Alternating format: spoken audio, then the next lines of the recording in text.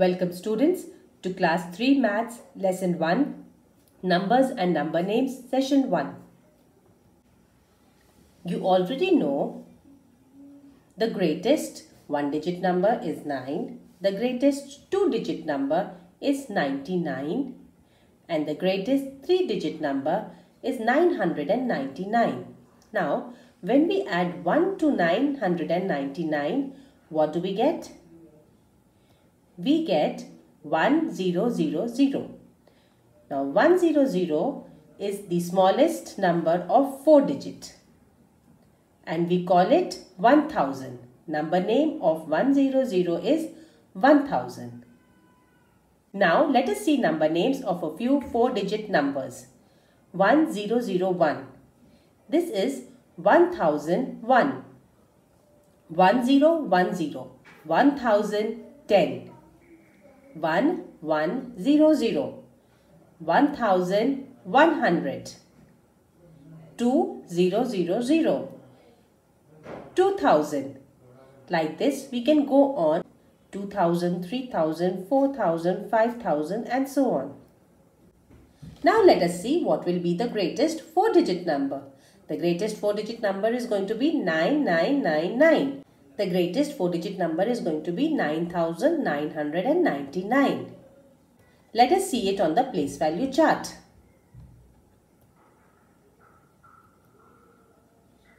So we will first place one 9 in the ones place.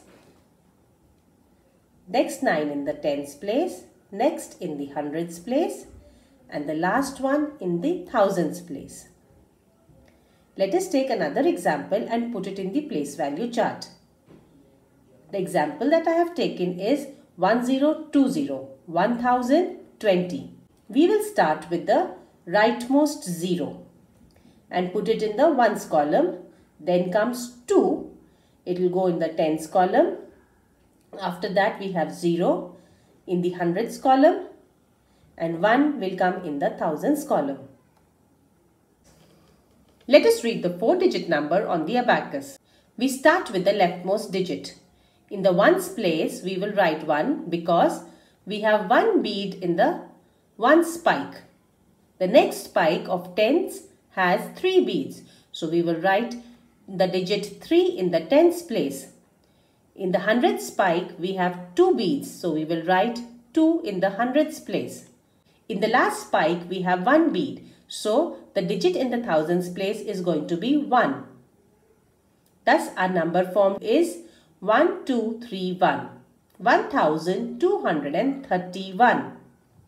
Write 1201 on the place value chart and write its name. Also show the numeral on the abacus.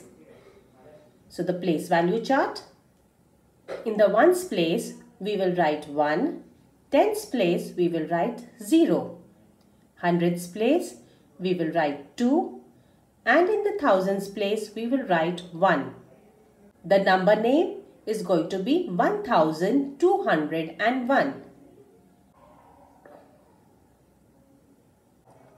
Let us now make the abacus for this. The number was 1201. We'll start with the ones column. On the one spike, we will put one bead. In the tens spike, we will not put any bead as the number there is 0. We will go to the hundred spike and there we will put 2 beads. Thousands place we have 1. So we will put 1 bead on the thousands spike. This is the numerals representation on the abacus. Now let us do a worksheet to enhance our understanding. Worksheet 1, question 1. Read the abacus and write the numeral and its number name. We have two parts in this question. Question number 2. Show the given numeral on the abacus and make its place value chart. So what you have to do here, you have to make an abacus and show this numeral on the abacus and after that you have to make a place value chart and then put the digits of this number in the place value chart.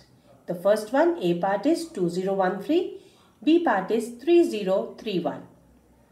Question number 3 fill in the placeholders.